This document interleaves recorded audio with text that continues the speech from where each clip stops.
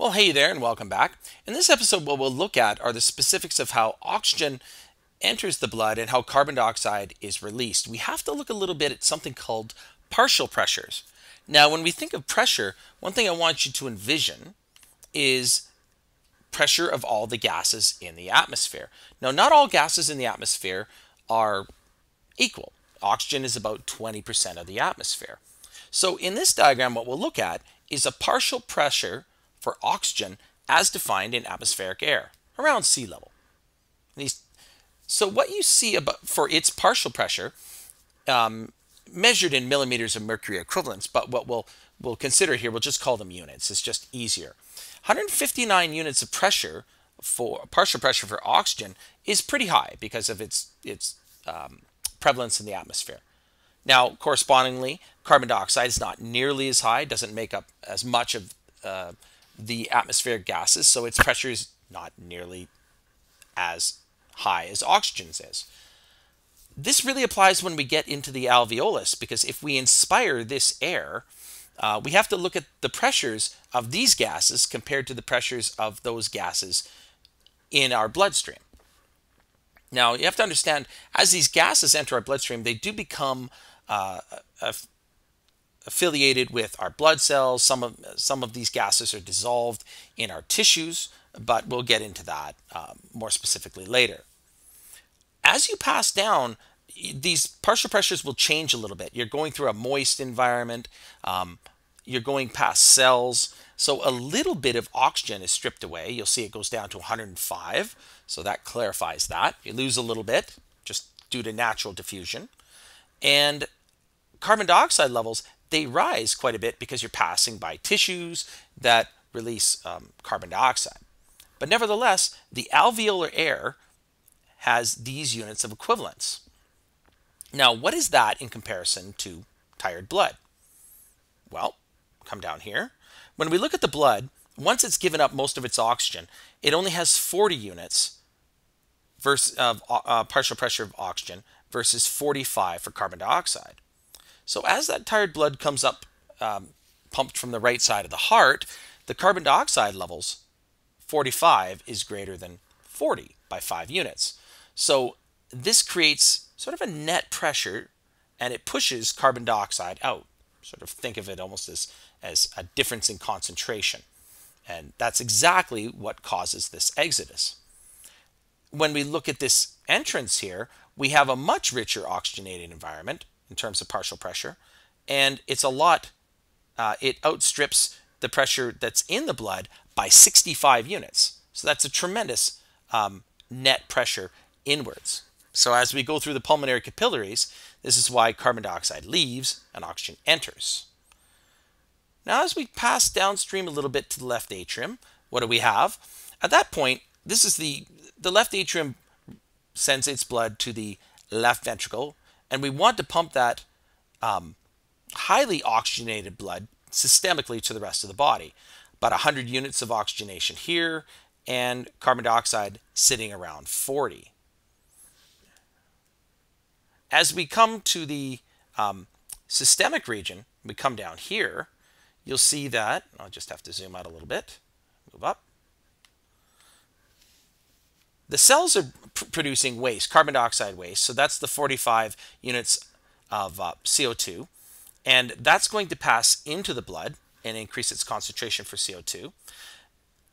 As the oxygen passes out by diffusion, we'll end up back at the 40 units of oxygenation here, and we'll need another trip up to the capillaries. So you want to know these partial pressures. You want to know how this system works. Um, it's fairly critical.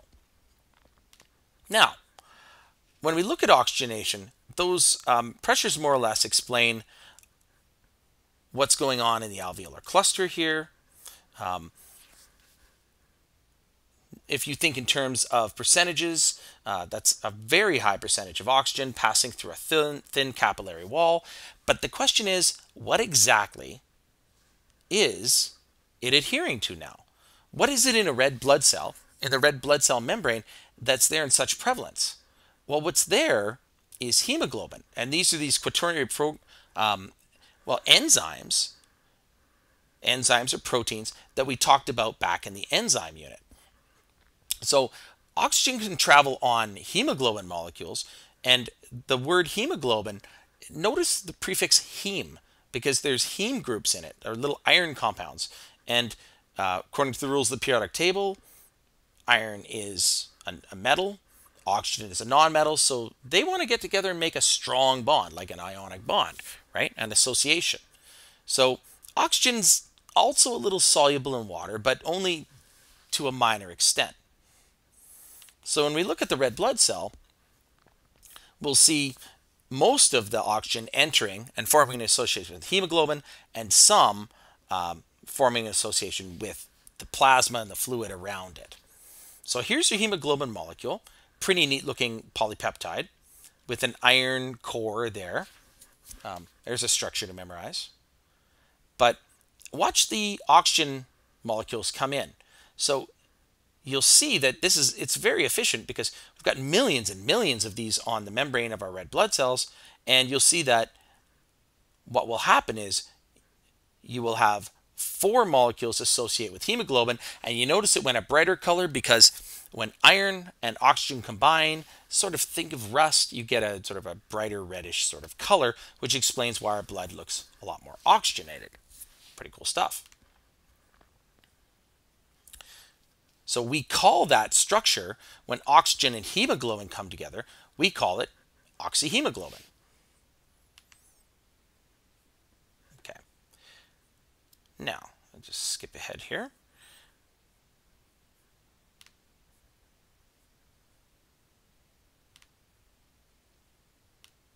There we go.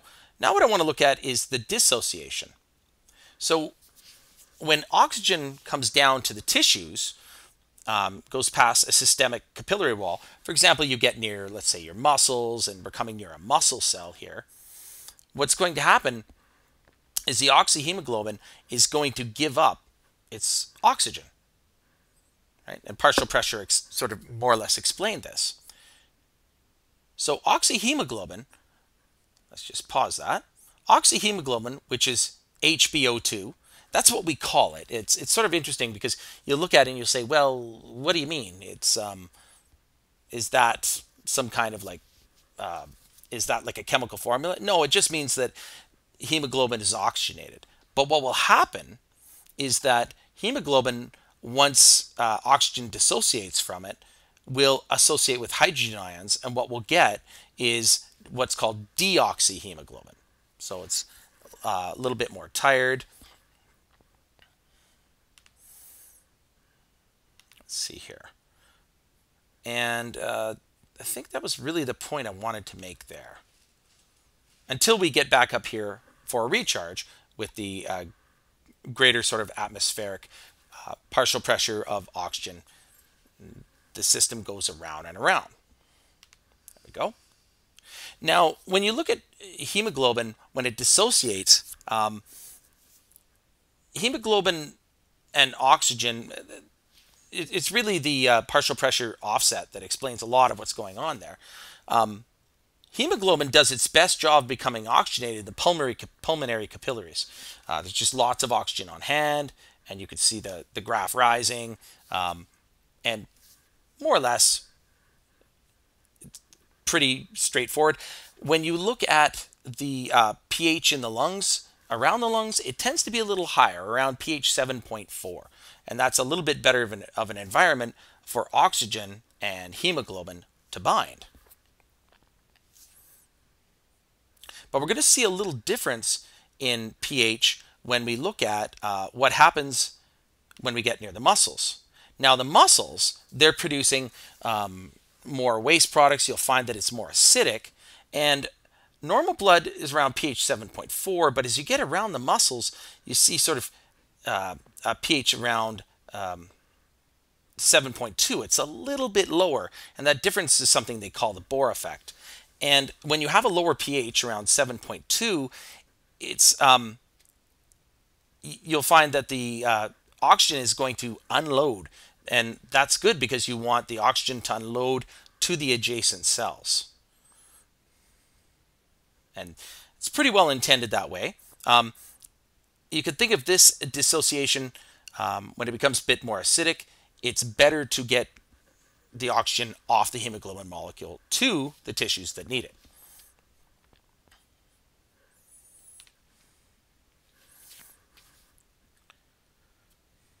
So when the pressure of carbon dioxide rises, you could sort of think of this almost as a little invasion to the party.